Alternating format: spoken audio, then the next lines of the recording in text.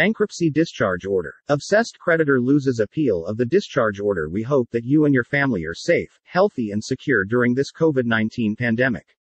Ira Smith Trustee and Receiver Inc. is absolutely operational, and Ira, in addition to Brandon Smith, is readily available for a telephone consultation or video meeting. What does bankruptcy discharge mean in Canada?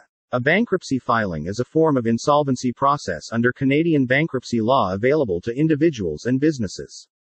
Bankruptcy deals with a person's or company's debt load and assets. After performing a detailed initial assessment, the licensed insolvency trustee will be in a position to advise the debtor if they will be better serviced through a restructuring process as an alternative to bankruptcy, consumer proposal or Division 1 proposal for individuals, Division 1 proposal or Companies Creditors Arrangement Act bankruptcy protection for companies with creditors, or whether the debtor will be better served filing for bankruptcy. The final piece of any bankruptcy process for an individual is the bankruptcy discharge. Individuals who go bankrupt are entitled to a discharge from bankruptcy. Companies are only entitled to one if every bankruptcy claim filed is paid in full, with interest. Because this never happens, companies do not receive a bankruptcy discharge. It is not impossible, but for this reason, it really does not happen. If you are thinking about filing an assignment in bankruptcy, then you may be wondering about the bankruptcy discharge process and how it will affect you. Many people think their debts are eliminated at the moment of their bankruptcy filing. This is incorrect. It is the bankruptcy discharge that will remove all, with certain limited exceptions, of your unsecured debts from your life and will result in letting you move forward with a clean slate. In this Brandon blog, I discuss the bankruptcy discharge process and a recent decision of the Supreme Court of British Columbia hearing an appeal to the decision of the master sitting as bankruptcy registrar on a bankrupt's application for discharge. Bankruptcy discharge and its consequences for the bankrupt when you are granted a bankruptcy discharge. This means that those debts caught by your bankruptcy are no longer your responsibility. This means that every action from creditors or the collection agencies they have retained stops trying to collect the debt obligations. As I previously mentioned, most almost all debts are wiped off your slate when you receive your discharge from bankruptcy. The kinds of debts that remain even after a bankruptcy discharge are spousal or child support payments, fines or penalties mandated by the court, claims arising from fraud or fraudulent breach of trust, student loan debt if less than seven years have passed since the bankrupt stopped being a part time or full time student. Any kind of financial debts that are secured against your assets, such as a home mortgage or automobile financing, are not discharged as a result of your bankruptcy discharge. These sorts of financial debts endure after bankruptcy as they are not released. The individual will be required to continue paying those financial obligations according to their terms. All various other financial obligations are discharged and do not have to be paid. What are the types of bankruptcy discharge? If there is no trustee opposition or creditor opposition to a bankrupt's application for discharge, and the bankrupt has fulfilled all of their duties of a bankrupt, in most situations, the licensed insolvency trustee can issue an automatic discharge which provides the bankrupt with an absolute discharge from bankruptcy. If there is an opposition, or the bankrupt meets one of the criteria that does not allow for an automatic discharge, such as the bankruptcy process finding the bankrupt a high income tax debt situation, there must be a discharge hearing in court which is heard by a master of the court sitting as the registrar in bankruptcy. There are four types of bankruptcy discharge and a fifth bankruptcy outcome is also possible. They are Absolute. An absolute discharge means the bankrupt is entitled to an immediate discharge. This can be given by the licensed insolvency trustee in the bankruptcy estate handling the bankruptcy administration if the bankrupt has fulfilled all of their duties and there is no trustee or creditor opposition. Conditional discharge can get a discharge after meeting one or more conditions. The most common type of condition of discharge involves paying a sum of money to the licensed insolvency trustee. Suspended. The bankrupt's discharge will take place at a later date and may very well be combined with either an absolute bankruptcy discharge or conditional bankruptcy discharge. Refused. The court refused to grant a bankruptcy discharge probably because the bankrupt has failed to provide full disclosure or perform other bankruptcy duties. Or, no order. The trustee advises the court that regardless of the time period that has passed, the bankrupt has actually actually not satisfied every one of his or her obligations and the bankrupt has actually failed to reply to the trustee's demands for information. In this situation, when the no order order is provided, the licensed insolvency trustee is at liberty to seek its discharge. Once the bankrupt person has actually fulfilled the requirements set by the court, the bankrupt can reapply for a discharge hearing by the court. Bankruptcy is a roughly nine month legal process to eliminate debt for a first time bankrupt with no surplus income who fulfills of their duties, including attending the two mandatory credit counseling sessions. They are entitled to their bankruptcy discharge after a bankruptcy period of nine months from the date of bankruptcy. If this is your second bankruptcy, a discharge will not be available after nine months. A second bankruptcy lasts for a minimum of 24 months if you do not have any surplus income payments to make to the trustee. If you have surplus income, a second time bankrupt must make those monthly payments for 36 months before they are entitled to a bankruptcy discharge. For a third or subsequent bankruptcy, the timeline is the same as the second time bankrupt. However, it is much more possible that there will certainly be resistance to the discharge by the trustee or the creditors. The court can also impose whatever conditions it sees fit. Creditor objects the decision of the master on bankrupt's application for discharge on July 9, 2021. The decision in Hanlon Re. 2021 BCSC 1348 in the Supreme Court of British Columbia was released. This was an appeal from an order by the Bankruptcy Registrar of the Supreme Court of British Columbia dated April 28, 2021 in Hanlon Re. 2021 BCSC 800, VAB 190492.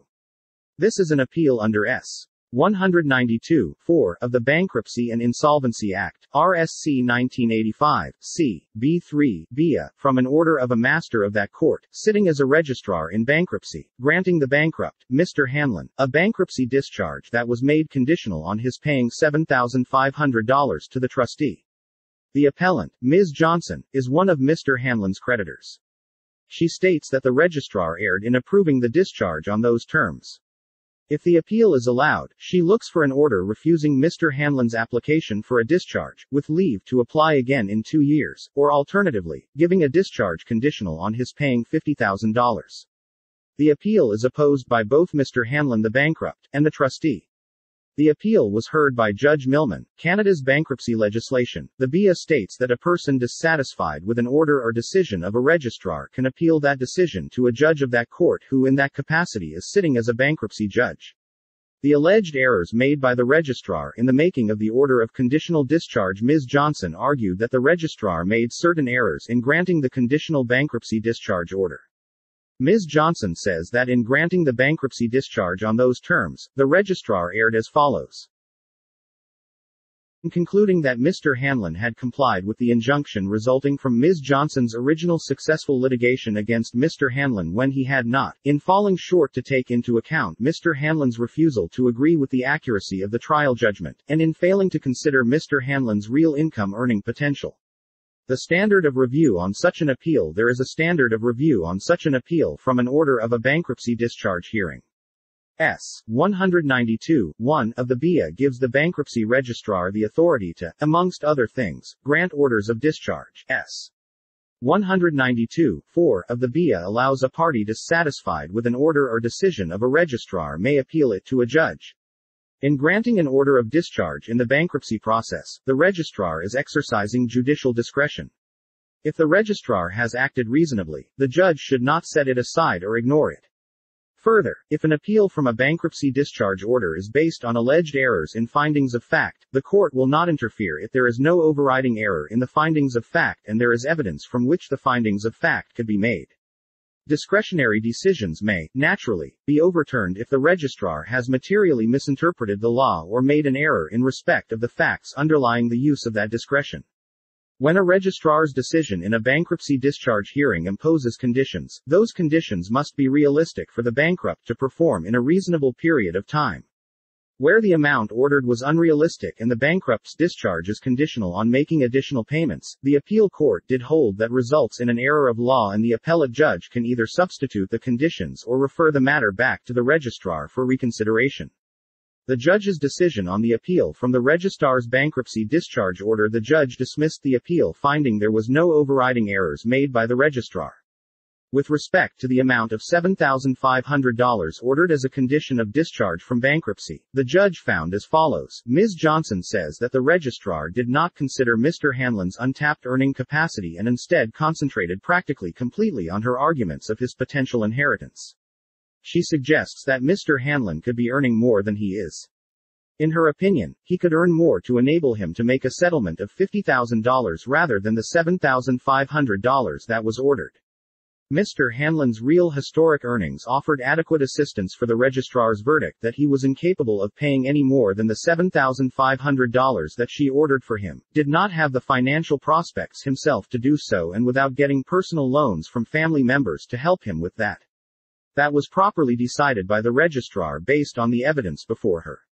The judge found that there is no merit in this or any other of the grounds of appeal.